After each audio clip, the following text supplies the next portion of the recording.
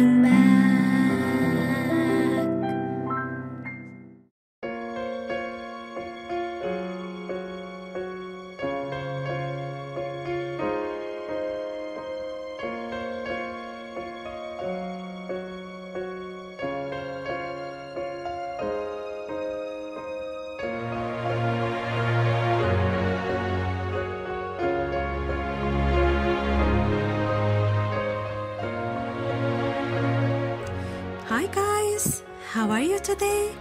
I hope that you're doing good. Do you know that today we'll continue the story and today we'll listen to the last part? Let's see all together what will happen.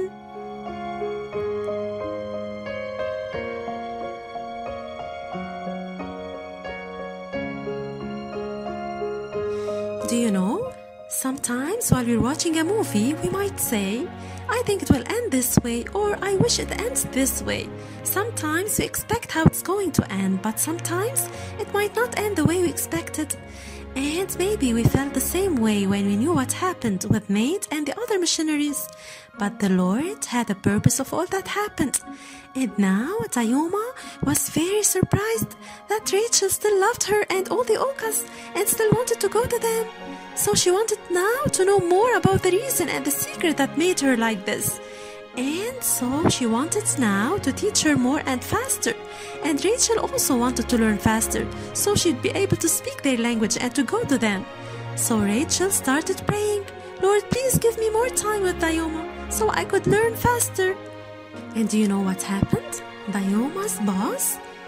Dayuma's boss went to Rachel and he told her, I want you to spend more time with Dayuma. I'll give you more time to spend with her. What? Is it possible? Why? He told her, I'm going to the United States and I'm taking Dayuma with me. I'm going to be on TV for an interview and I want you to tell everyone on TV what Dayuma says. This is why I wanted to learn her language faster. Rachel was more than happy for God had answered her prayers. So they were spending more time together now. And they went to America and finished everything. And when they wanted to return, what happened? Dayuma got very sick, too sick for an airplane ride, so they had to stay there and wait for her to get well. So Dayuma stayed in bed and was too sick to even teach Rachel. So Rachel thought this is the right time to tell Dayuma about about what? About the Lord Jesus. And so she started telling her about Jesus and how much he loved her and that he came and died for her and she told her the whole story. And Dayuma was very touched by what she heard. And she thought of her sins and about the love of Jesus who came and died for her on the cross. And do you know what happened? Dayuma believed in Jesus as her Savior, and her life was changed and her heart too. And Rachel was very happy because the first Auca had believed in Jesus.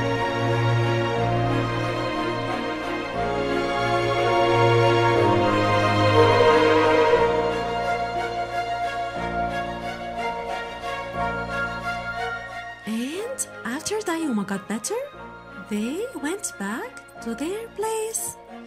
And do you know what Dayuma decided to do now? Do you know? Do you remember that she ran away from her place and that she hated the Auca so much? But now the Lord was in her heart. She loves them now. And she said, I want to go back to them and tell them about the Lord Jesus so that their life would be changed too. And this is what she did. She went back with Rachel to the jungles not to the Aucas area, and Rachel waited there, and now Dayuma will go there alone to her family and to all the Aucas. What do you think will happen? Rachel? Rachel was nervous, for she was worried about Dayuma and what they would do with her.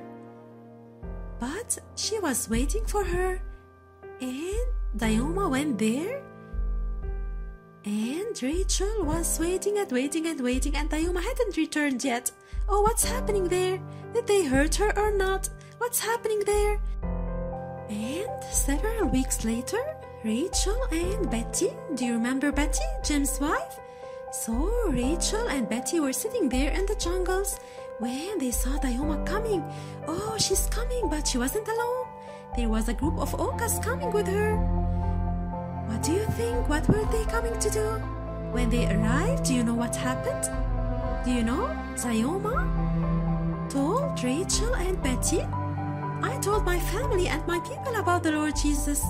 And they came with me because they want you to tell them more about the Lord Jesus and they want you to come with us. Oh, Rachel and Betty were amazed. The Lord was interfering and changing. So they were very happy and they went with them to their place. And so they started telling them little by little about the Lord. And they didn't try to kill them. And you know what? They saw there one of the men who killed Nate and Jim. But you know, guys, they loved him. It wasn't easy, but the Lord Jesus gave them the strength. And they were preaching to him, and they loved him, and he didn't try to kill them now. And also, one time, an Auca man told Rachel, I'm going to spear someone. I'll take my spear and kill him. So he took his spear, but what did Rachel do? She said, No, I should stop him, I should stop him. So she ran after him and grabbed his spear out of his hands and ran away and threw it away. he could easily kill her.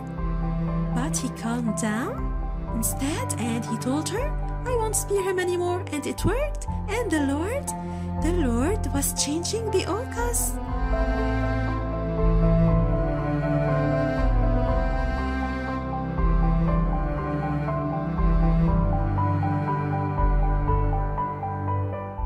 And Rachel and Betty worked hard to learn more of the Auca language so they could tell them better about the Lord.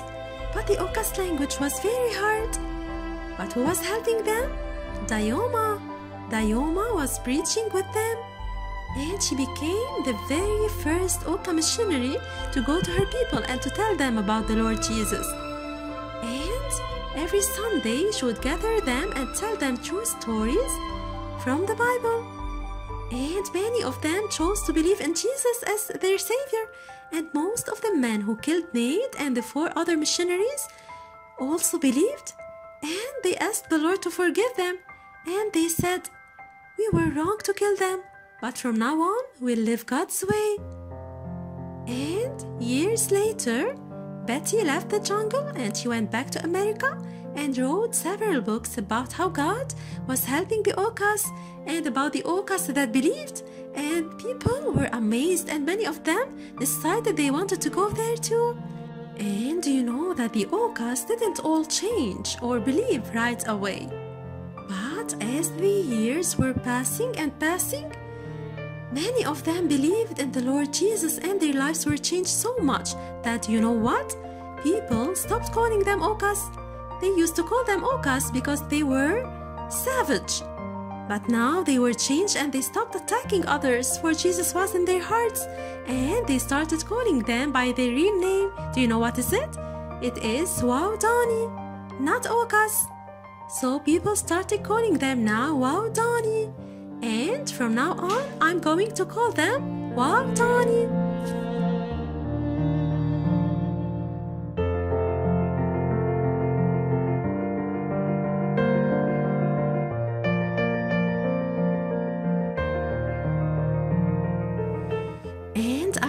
Many of them believed in the Lord Jesus, their lives changed in so many ways.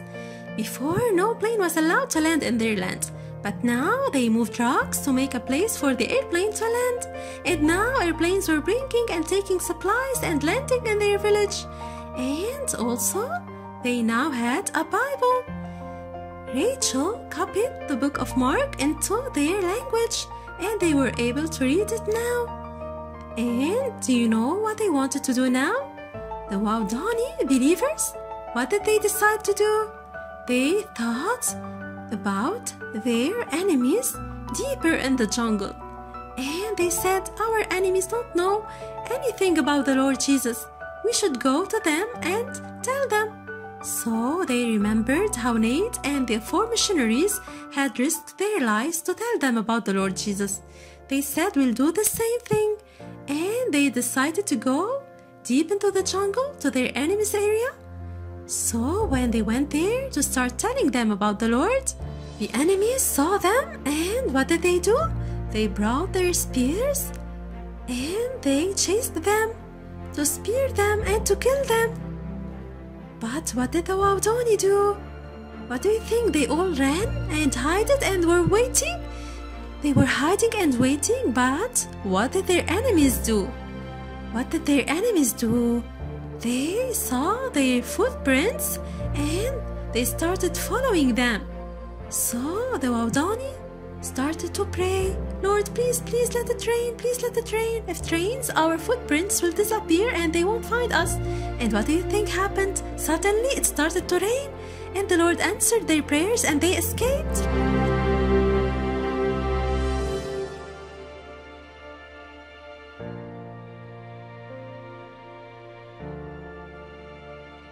Do you know, guys, the Waodani didn't give up.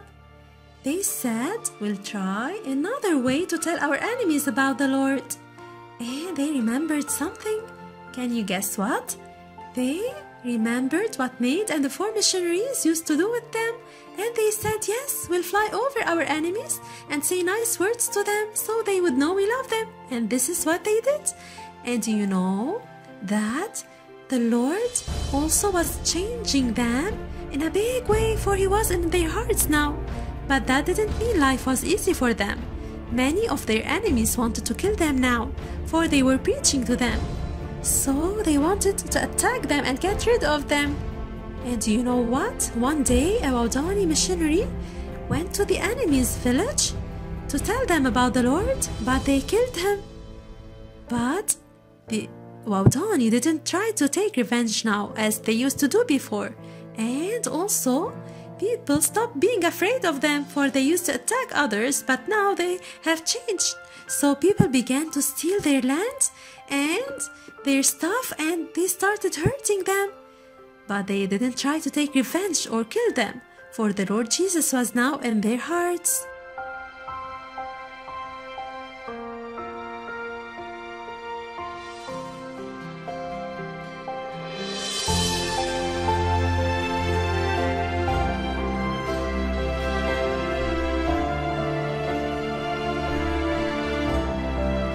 You know that the Aucas or Waodani story reminded us of many things that only God could do?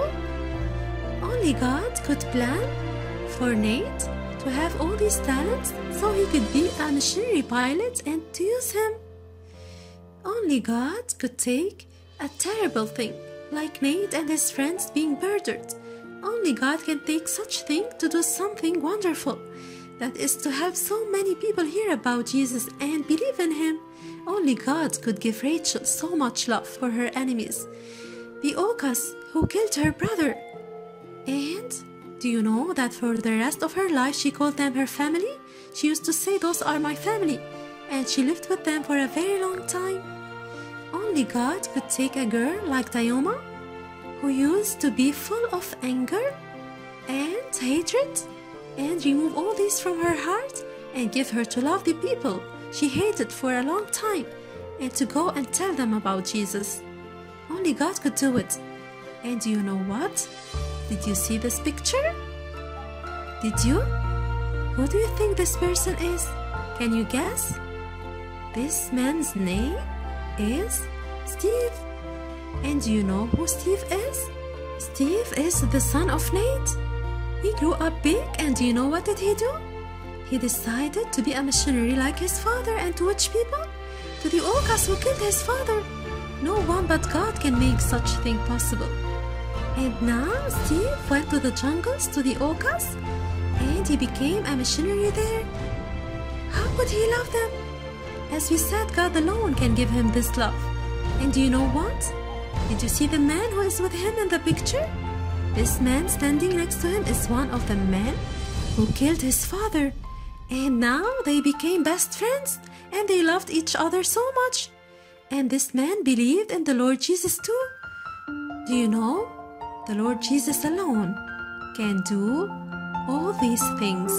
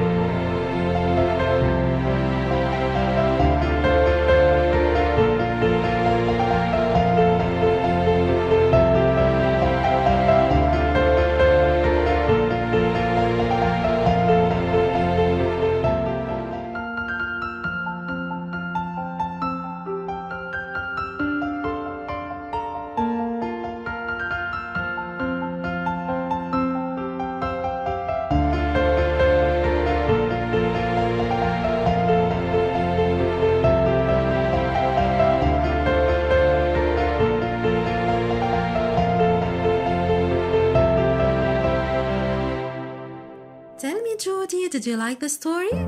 So, so, so, so beautiful. Great! Do you know, Judy, the story is really nice, but we should learn some lessons from it to our life. Right? What can we learn from the story? We learn that if the Lord Jesus is in our hearts, what should we do? We should preach.